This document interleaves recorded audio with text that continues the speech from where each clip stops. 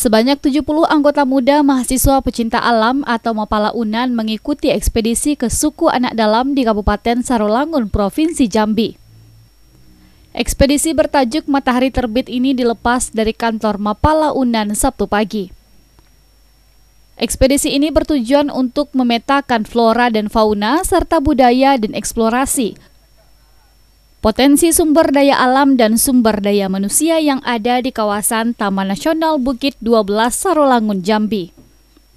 Dalam ekspedisi nantinya setiap anggota akan bertugas di berbagai bidang. Ada yang memetakan hewan dan tumbuh-tumbuhan, budaya, adat, serta sumber-sumber potensi pariwisata alam bebas yang ada di kawasan suku anak dalam ini.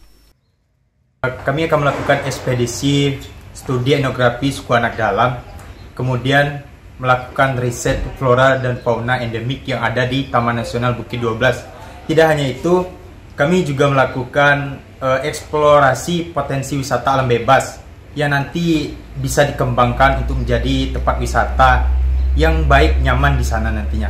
Kemudian nggak hanya itu, kami akan melakukan pemetaan baik itu untuk memetakan uh, di mana tempat fauna endemik ataupun flora endemik yang ada di sana serta tempat potensi wisata alam bebas yang kami uh, cari di sana.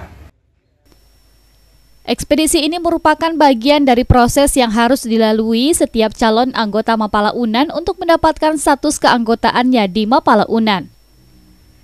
Ekspedisi ini diharapkan mampu memetakan segala potensi wisata alam yang ada di kawasan suku anak dalam yang berada di Kabupaten Sarolangun, Provinsi Jambi. Rencananya ekspedisi ini akan berlangsung selama 12 hari ke depan. Ketujuh anggota muda Mapala Unan ini akan berada di kawasan hutan pedalaman Sarolangun Jambi bersama suku anak dalam. Tim Liputan Padang TV